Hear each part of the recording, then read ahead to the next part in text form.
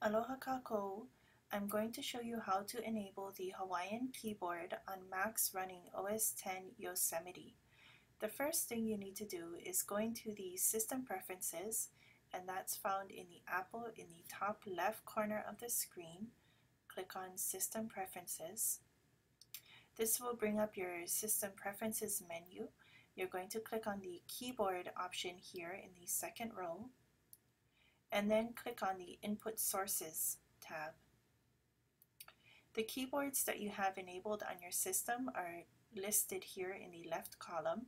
We want to add the Hawaiian keyboard, so we're going to go into the plus symbol here and then scroll down and look for the Hawaiian keyboard. Once you find it, you'll click on it once and then click on Add. The Hawaiian keyboard will then show up in this left column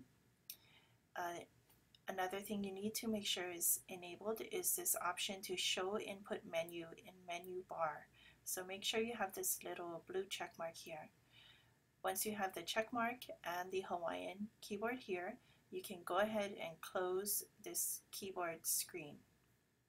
Now if you look in the top right corner of the screen, right, right next to your clock, you'll see a little flag here. If you click on that and select the Hawaiian flag, the Hawaiian keyboard, that will enable the Hawaiian keyboard on your computer. Once you have the Hawaiian keyboard enabled, you can open up a word processing program like Microsoft Word or Pages or TextEdit.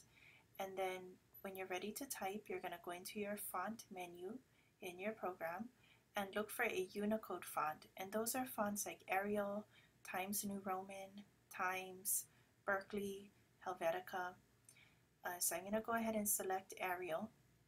And then in order to type the vowel with the kahako, the macron over the vowel, you're going to hold down the option key and type the vowel. To do a capital version of the vowel with the kahako, you hold down the option key and the shift key and then type the vowel. And then if you want to type the okina, all you do is type the apostrophe key. And that will bring, bring up the okina. So that's how you enable the Hawaiian keyboard on Macs running OS X Yosemite. Mahalo!